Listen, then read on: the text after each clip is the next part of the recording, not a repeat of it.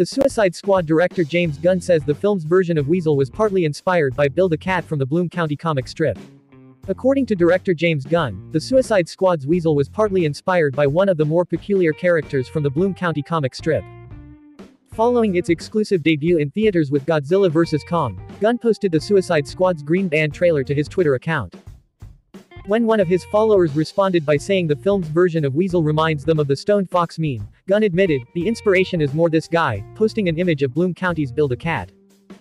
Created by Berkeley Breathed, the Bloom County comic strip satirizes U.S. politics and pop culture through the lens of a fantastical small town in middle America populated by humans and talking animals.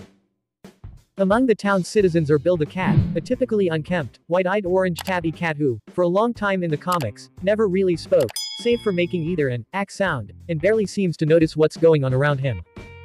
Bill made his Bloom County debut on June 13, 1982 and was designed to serve as a parody of Garfield, whose own comic strip launched in the late 1970s.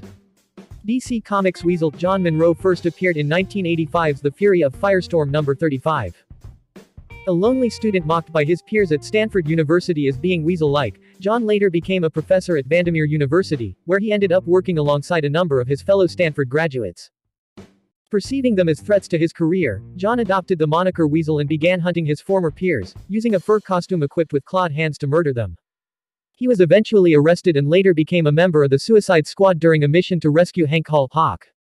He is played by James Gunn's brother and frequent collaborator Sean Gunn in the Suicide Squad. Hope you like this video subscribe for more updates.